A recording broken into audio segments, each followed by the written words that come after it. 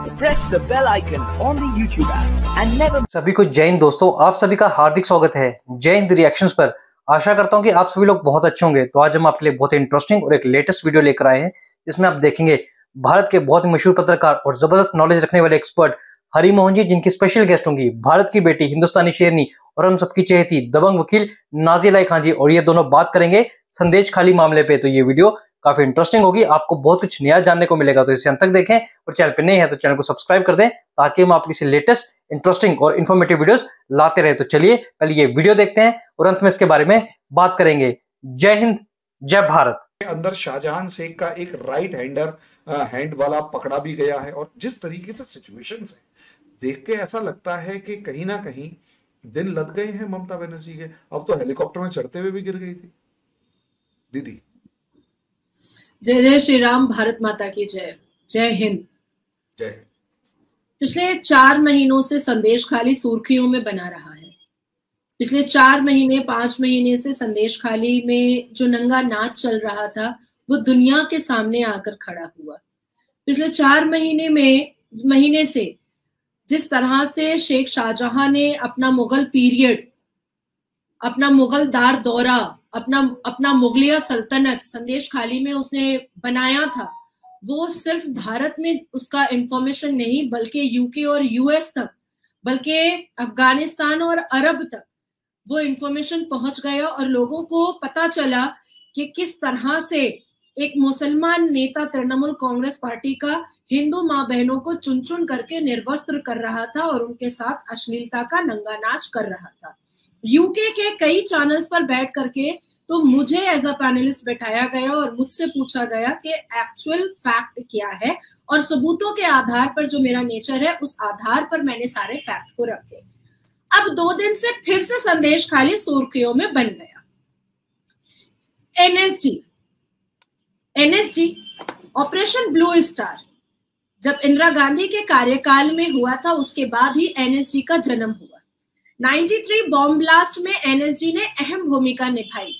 और 93 bomb blast के बाद एनएसजी के एनएसजी डिपार्टमेंट के अहम भूमिका को देखते हुए और बहुत ही वैल्यूबल कार्यों को देखते हुए कहीं ना कहीं कांग्रेस की सरकार को भी ऐसा लगा कि एनएसजी डिपार्टमेंट जो इंदिरा गांधी के जमाने में ऑपरेशन ब्लू स्टार के बाद बनाया गया, इसका रहना देश की सलामती के लिए, देश की हिफाजत के लिए बहुत ज़रूरी है, बहुत ही इंपॉर्टेंट है।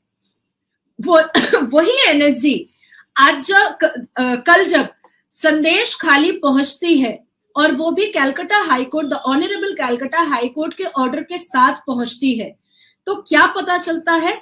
जिस तरह से हम फॉरेन कंट्रीज़ की, हॉलीवुड की मूवीज़ में देखते थे पहले, हरे भाई, कि एक रोबोट के ज़रिया बॉम्ब को डिस्पोज करने के लिए ले जाया जाता है। एक रोबोट को बुला लाया जाता है और वो रोबोट जाकर के सारे बॉम्ब का इन्वेस्टिगेशन करता है और पहाड़ों के अंदर से सुरंगों के नीचे से और समुन्दरों के भीतर से और बिल्डिंगों के ऊंचाइयों से और ज़मीन के तह से रोबोट जो है वो लेकर के आता है बॉम्ब को और बताता है कि देखो यहाँ पर बॉम्ब था।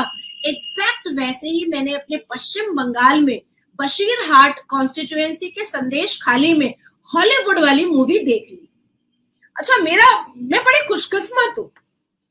एनएसजी पहुँचा है और मैं कैलकाटा लैंड की और जब मैं दिल्ली, उत्तर प्रदेश से मैं दिल्ली आ रही थी, तब मुझे ड्राइवर ने बताया कि दीदी, शेख शाहजहां रो रहा है। मैंने कहा, दिखा दिखा, कैसे रो रहा है? तो उसने दिखाया कि बड़ा रो रहा है मतलब बंगाली में कहते हैं, कान्ना काटी कुर्चे। तो बड़ा बड़ा भावुक होकर के रो रहा है और उसके उसका जो गाल वाल चूम रही थी जो छू रही थी अब पता नहीं उसकी बीवी है या उसकी प्रेमिका है कि उसकी बहन है कि उसकी कॉन्क्यूबाइन है कि उसकी रखेल है इन लोगों का तो कुछ भी पता नहीं होता है ना कि कौन क्या होता है क्योंकि पार्थो चैटर्जी की पाँच गर्लफ्रेंड थी। और वो डॉग में दिल का हार, हार, दिल का शेप बना करके हार्ट शेप उंगलियों से बना करके फेंकता था डॉग से। तो इन लोगों का कुछ पता ठिकाना नहीं होता है। अच्छा सम, अब समझ में आया कि सिर्फ़ जिहादी नहीं होता है। मैं बार बार बोलती थी कि नासिर खान से जो मुसलमान लड़की शादी की है वो जिहादन माइंडेड है। जैसे पाकिस्तान में हनी ट्रैप वाली होती है। उसी तरीके से शाहजहां के घर में भी जिहादन माइंडेड बहुत सारी महिलाएँ हैं। आज हरे भाई आपके घर में आपको अगर पता चले कि आपका कोई भी भाई बंधु ने बलात्कार किया है और वो भी मास बलात्कार किया है और किसी मुसलमान का किया है तो क्या आप उसका मुँह क्या आप उसके लिए भावुक होइएगा? आप तो सोचिएगा कि भाई इसको फांसी मार उसे।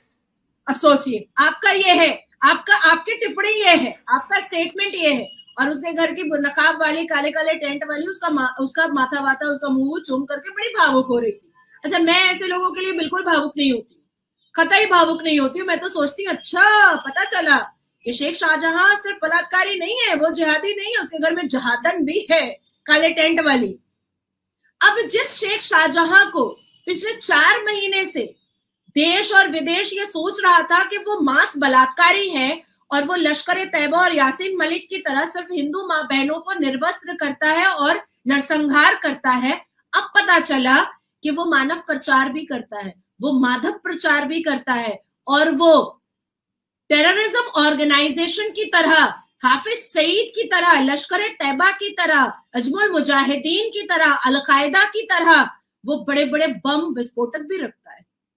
अब आप सोचिए कि जैसे ही एनएसजी की टीम पहुँची, हफीजुल खान, जो अबू तालिब, ये लोग जो शेख शाहजहां के एसोसिएट थे, सिपा सलार थे, जैसे मुगल लोग अपने सिपा सलार रखते थे, अवाम, रियाया, सल्तनत, ये लोग अब सामने इन लोगों के घर से सारे के सारे फिरंगी बुलेट्स अंग्रेज़ी पिस्टल अंग्रेज़ी बॉम्ब ये सारी चीज़ें निकल गई। अब जब निकल गई और रोबोट के मार्फत से निकली है, अब ममता बनर्जी छाती पीटती हुई नज़र आ गई। ममता बनर्जी ने चिल्ला चिल्ली स्टार्ट कर दिया कि इलेक्शन कमीशन को इस पर संज्ञान लेना चाहिए कि इलेक्शन के दौरान ड्यूरिंग लोकसभा इलेक्शन कोई एनएसजी कैसे भेज सकता है? सीबीआई अपना काम कैसे कर सकता है? एनआईए अपना काम कैसे कर सकता है? अब मुझे ये जानना है कि अगर कोई अभी इस वक्त इस पूरे देश में कोई बलात्कार करेगा तो क्या उसको अरेस्ट नहीं किया जाएगा? कोई बम फोड़ेगा तो क्या उसको अरेस्ट नहीं किया जाएगा? कोई अगर मर्डर करेगा तो क्या उसको कानून के तहत 24 घंटे के अंदर अरेस्ट करके डॉक में खड़ा नहीं किया जाएगा? क्या कोई याकूब मेमन जैसा फिर से बम मारेगा? और और किसी एक देश को उड़ाने की कोशिश करेगा तो क्या उसको अरेस्ट नहीं किया जाएगा? या कोई बुरहान की तरह कश्मीर को जलाने की कोशिश करेगा तो क्या उसको अरेस्ट नहीं किया जाएगा? क्या कोई अफजल गुरु की तरह पार्लियामेंट पर फिर से during the Lok Sabha election attack करेगा तो क्या उसको अरेस्ट नहीं किया जाएगा? अब तीसरी बात आती है कि ये जो फिरंगी बुलेट और अंग्रेज़ी बंदूक थे, ये किस पर चलाने के लिए थे और किसकी खून की नदियाँ बहाने के लिए थे? भारतीय जनता पार्टी के कार्यकर्ताओं की या उन वोटर्स की जो भारतीय जनता पार्टी को वोट करते हैं? क्योंकि कुछ दिन पहले श्रीमती ममता बनर्जी ने सर पे आंचल रख करके कहा था कि अल्लाह माफ़ नहीं करेगा अगर कोई भी मुसलमान भारतीय जनता पार्टी को वोट करेगा। दुर्गापुर के मंच से श्रीमती ममता बनर्जी ने कहा था, भारतीय जनता पार्टी के खिलाफ जिहाद होगा। तो क्या ये वही जिहाद का इंतज़ाम था? भारतीय जनता पार्टी के खिलाफ ये वही जिहाद का इंतज़ाम था। अब आती है चौथी बात कि जैसे ही एनएसजी के इस सीज को इस सीजर को देश विदेश के नेशनल न्यूज़ इंटरनेशनल न्यूज़ ने दिखाना स्टार्ट किया ममता बनर्जी ने सोचा कुछ तो करना पड़ेगा न्यूज़ दबाने के लिए। हेलीकॉप्टर पर चढ़ रही थी और पैर मुचक गया। हाँ, इसमें एक चीज़ मैं पूछना चाहूँगा दीदी। हर बार इलेक्शन से पहले ममता बनर्जी के पैर में पिछली बार प्लास्टर बन गया था। अभी थोड़े दिन पहले वो छोटी सी घाव लग गया था। उसके बाद वो गिर गई हैं।